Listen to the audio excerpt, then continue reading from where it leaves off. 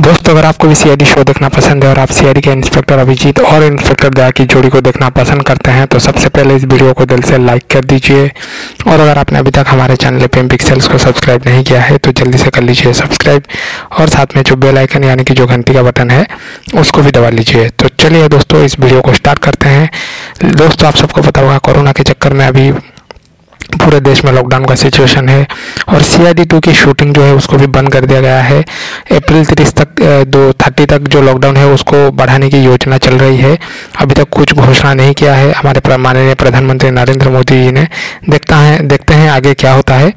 तो दोस्तों, इस वीडियो में हम बात करेंगे सीआईडी के एक्टर्स के सैलरी के बारे में। सीआईडी के जो एक्टर्स हैं, वो कितना लेते हैं पर एपिसोड सब कुछ आपको बताऊँगा दोस्तों तो वीडियो को अंत तक ज़रूर देखिएगा।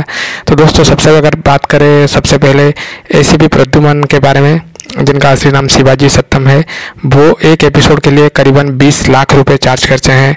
सीआईडी के पर एपिसोड के लिए 20 लाख रुपए लेते हैं।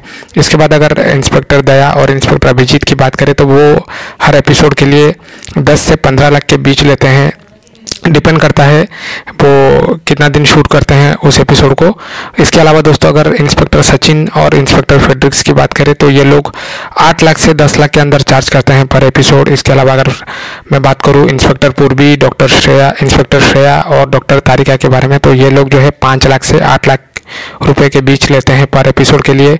इसके अलावा डॉक्टर अगर मैं बात करूँ डॉक्टर सालुंखे के बारे में तो डॉक्टर सालुंखे जो है, वो करीबन पाँच से दस लाख रुपए के बीच लेते हैं पर एपिसोड के लिए।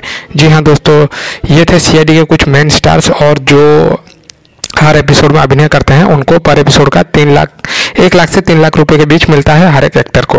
तो दोस्तों, ये था सीआईडी के एक्टर्स का पूरा जो रेट लिस्ट होता है, वो अगर आपको ये वीडियो अच्छा लगा हो तो वीडियो को लाइक करिए, नीचे कमेंट करके ज़रूर बताइए कि आप सी के सीज़न टू को देखना कितना पसंद कर रहे हैं और आपको क्या लगता है कि सीज़न टू जो है वो कब तक आना चाहिए? और इस लॉकडाउन की सिचुएशन में आप घर पर क्या कर रहे हैं? कैसे अपना टाइम पास कर रहे हैं, आप लोग नीचे कॉमेंट करके ज़रूर बताइए। धन्यवाद।